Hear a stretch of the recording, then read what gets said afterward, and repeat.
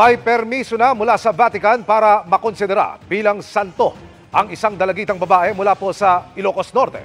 Sa isang sulat, pinayagan ng Dicastery for the Cause of Saints ang pagsisimula ng investigasyon ng Diocese of Lawag sa reputasyon at kabanalan ni Nina Ruiz Abad.